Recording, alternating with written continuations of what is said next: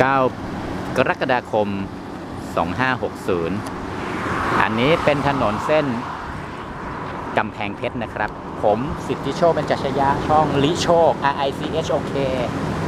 กำลังจะไปเที่ยวเชียงใหม่ พักงานก็ อยากกินทุเรียนก็เลยบอกพี่สะพ้ายว่าเดี๋ยวแวะ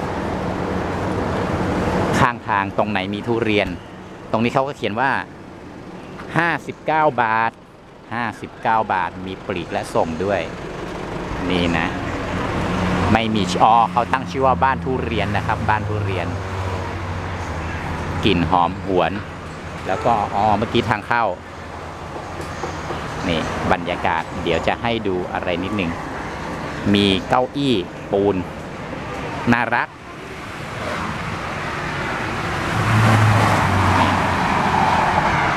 เข้าใจทำนะ ตรงนี้แหว่งไปหน่อย อ๋อเป็นปูน อ๋อเป็นก้าน ที่มันแหว่งนี่มันเป็นก้านนะครับ เป็นก้าน อย่างนี้ น่ารักดี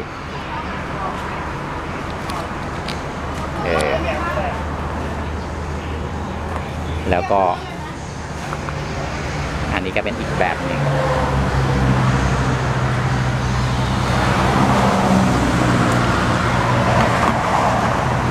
นี่นะก็นั่งเก้า อี้หินทุเรียนนะครับเก้าอี้หินทุเรียนอะไปไป ดูทุเรียนกันกลิ่นหอมทุเรียนอะไรครับ หมอนทองหมอนทองค่ะครับตรงตรงนี้อยู่อำเภออะไรผมทำ YouTube ช่อง YouTube อ๋อคุยได้คุยได้ แนะนำร้านได้ ร้านบ้านทุเรียน ใช่ค่ะ ขายประจำทุกปีทุกปี อ๋อทุเรียนมาจากจังหวัด แต่อันนี้มาจากชุมพรค่ะอ๋อเหรอครับทุเรียนใต้เหรอครับทุเรียนใต้ค่ะเหรอครับแล้วแล้วห้าสิบเก้าบาทนี่คือเป็นหมอนทองค่ะแต่จะทรงไม่สวยอ๋อ ให้มันอร่อยแล้วทรงทรงไม่เป็นไร ใช่ค่ะเราเน้นเราเน้นแก่เจ๊ชื่ออะไรแนะนำตัวได้ครับผม น้อยค่ะเจ๊น้อยนะครับ คนกำแพงเพชรเลย ใช่ค่ะ อ๋อยินดีที่ได้รู้จัก แล้วปีก่อนๆราคาใกล้ๆนี้ไหมก็ก็จะประมาณเนี้ยค่ะ เออไม่แพงเนาะไม่แพงค่ะ แล้วทำไมผมมาจากนครปฐมโลร้อยกว่าบาท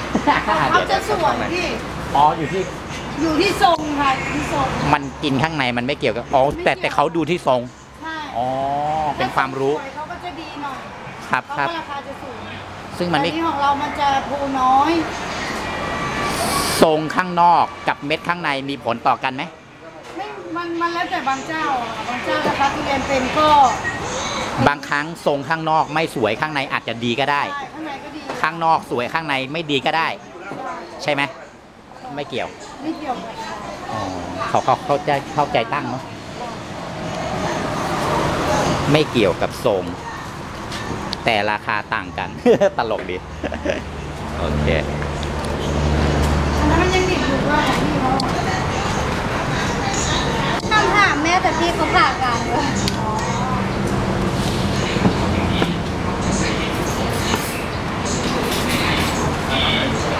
ทุเรียนใต้ก็ต้องดีสุดหน่อยอร่อยหวานมันถ้าถ้าสุดหน่อยทุเรียนใต้ จากจังหวัดอะไรนะครับ จากจังหวัดอะไรนะครับ ชุมพร ชุมพรมีทุเรียนด้วย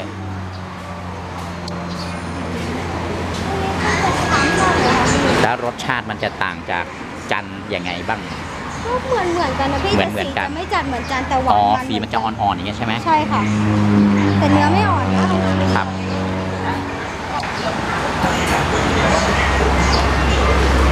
ก็เขาบอกว่าสีมันอ่อนแต่มันหาไม่เจอเพราะจะมันเนี่ยมันหายากเขามีเขามีให้ชิม มีให้ชิมไหม อันนี้ของเขา อ๋อ เอาแล้วใช่ป่ะใช่ค่ะพี่เขาชิมพี่แล้วเขาอ๋อแล้วมันจะยาวๆเล็ก ๆ อย่างเงี้ยแล้วมันใช่มันค่ะจะอันนี้เป็นภูเล็กอ๋อภูเล็ก ใช่ภูใหญ่เนื้อก็ใหญ่อ๋อ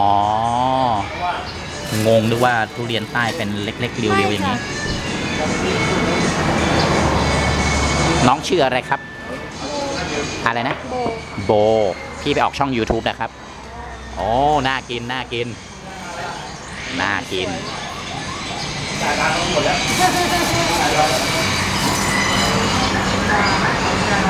ถ้าไม่นั้นก็ใส่ถุงก็ได้พี่เราจะเขียนให้ว่าของไปได้อีกกี่ชั่วโมงสมมุติไปเชียงใหม่อะได้ใช่ไหมได้ค่ะพรุ่งนี้อยู่ได้ปะ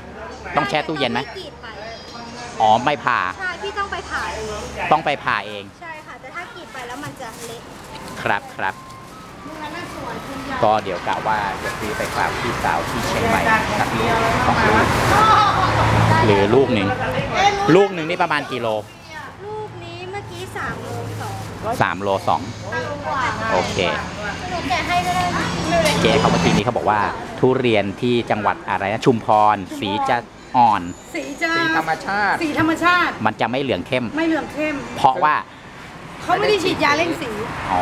แต่จะไปพูดว่าของเขาฉีดยาเร่งสีไม่ได้อืมเราไปไปโจมตีกันไม่ได้แต่แม่ค้าอธิบายให้ฟังแต่รสชาติก็ไม่ต่างกัน ถ้าอร่อยก็เหมือนกัน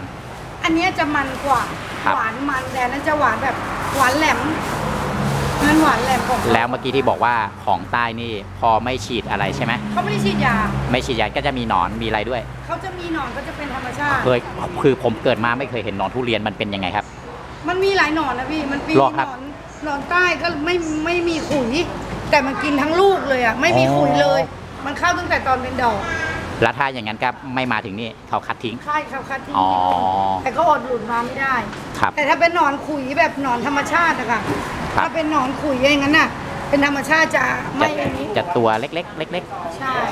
ๆอืมอย่างนี้มันเป็นหนอน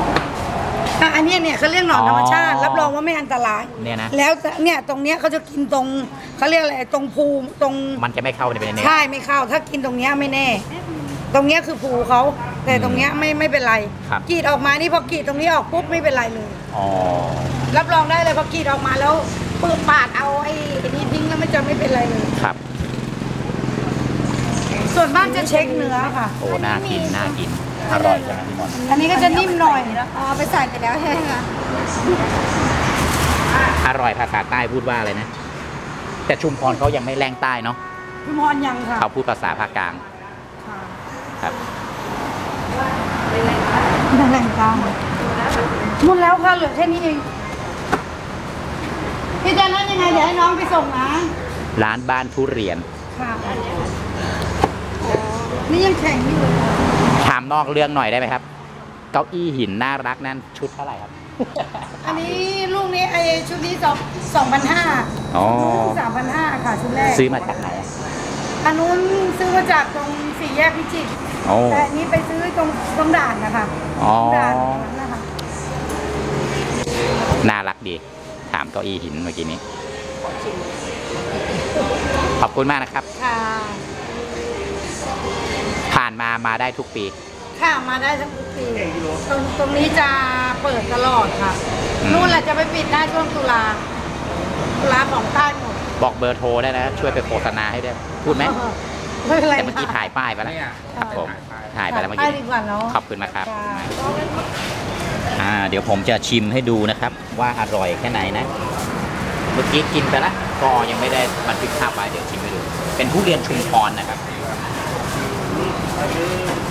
ก็รสชาติคือเนื้อแบบนุ่มนวลแล้วก็หวานมันอร่อยมาก มาซื้อได้เลยเนี่ย ร้านบ้านทุเรียนนะครับเดี๋ยวเดี๋ยวชิมนิดนึงเองประทับใจอร่อย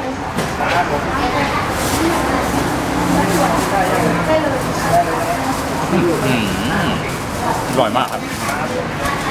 อย่าลืมมาอุดหนุนนะครับเจ๊อะไรครับ จ๊น้อยค่ะ เจ๊น้อยบ้านทุเรียนปีนี้วันที่ 9 กรกฎาคม 60 2560 อร่อยมากจังหวัด ใครผ่านมาจังหวัดกำแพงเพชร ตรงนี้อำเภออะไรครับน้อง เพิ่มมาอำเภอเมืองจังหวัดกำแพงเพชร อยู่ข้างทางซ้าย ขึ้นมาจากภาคกลางนะครับ ก็แวะแวะได้เลย มองป้ายแล้วก็ชะลอเขาเขียนป้ายไว้หน้า แล้วก็มีตุ๊กตาอย่างเงี้ย ตุ๊กตาลงเหมือนที่ถ่ายให้ดูตอนแรก อร่อยมากครับ อร่อย โอเค ก็คุยคุยกับน้องโบ ผมเคยดู YouTube เขาบอกว่าหั่นตรงหัวหรือก้นหัวใช่ไหมตรงก้นแล้วมันจะเป็นเส้นๆ แล้วก็ตัดไปตามรอยนั้น แล้วก็จะได้ตรงเม็ดพอดีไม่ไปโดนเม็ดเสียแต่น้องโบบอกว่าทุเรียนพันอะไรนะ พูดดัง ๆ นิดนึง หมอนทองกับชะนีไม่ได้ หมอนทองกับชะนีจะไม่ได้ มันตัดปุ๊บมันจะเห็นเส้นไหม เห็นค่ะเห็น แต่มันไม่ออกแต่พอกรีดปุ๊บไม่ออก ไม่ออกมันเหนียวเหนียว ก็เลยจะใช้วิธีดูตามลองร่องภูแทน